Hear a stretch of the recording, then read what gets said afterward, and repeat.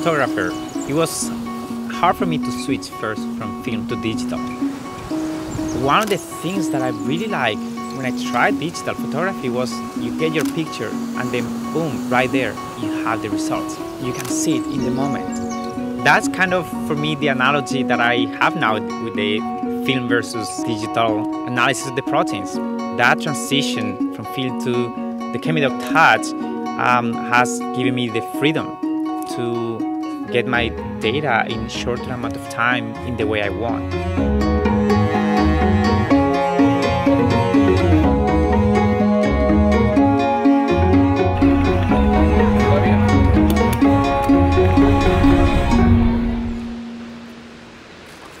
what I try to catch in photography is beauty, beauty and colors.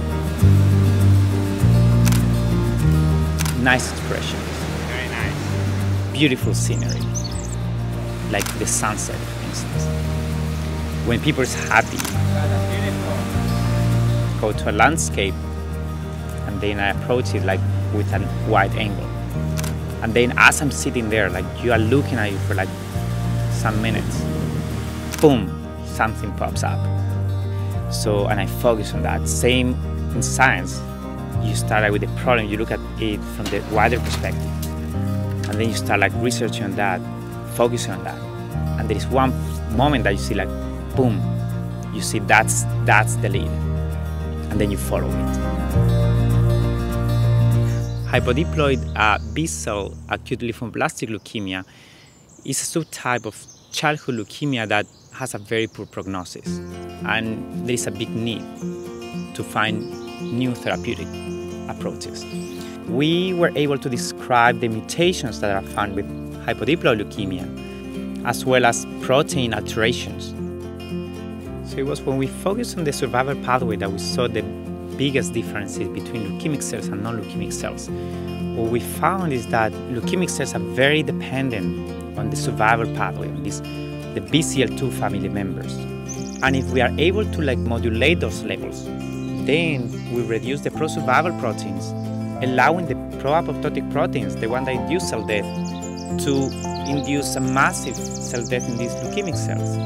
And if that happens, that will inform a novel therapeutic approach. We have developed a biochemical approach and combine Western blot analysis to identify those proteins, to measure changes in those proteins. Um, but we need to quantify them. So that's when the ChemiDoc came into play. Until then, um, Western blot quantification has been one of the hard parts to do because we had to rely on older technologies. Now, in a routine way, we can have quantification right in the moment. With the ChemiDoc touch, we've been able to go look at the proteins right from the membrane and be able to analyze at a quick glance and compare the levels. That has helped us focus our attention on the most relevant proteins. One of the challenges with developing film to analyze the Western blot was having a very strong band next to a very faint band. Wasting time with the film, exposing different films until you get the, the right image. And the problem was that wasn't enough, or it was too much, or too much background. With the ChemiTouch, that problem got solved because in one moment you can like very rapidly get a very sensitive image and it will expose the best for each band. You can adjust, you can select the protein, you can resize the protein, you can do comparisons. So it's a very fast and very reliable way to get your protein analysis data as opposed to the old conventional film approach. What you need in science is to have a creative mind. So for me, like photography helps me develop that creative side we do cutting edge research.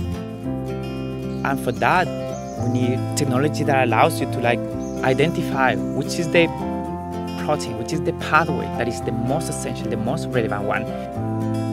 and getting the data in the best way, in a very visual way, that is part of the beauty of doing science. And when all that together give you the answer that you're looking for, it just encourages you to keep going.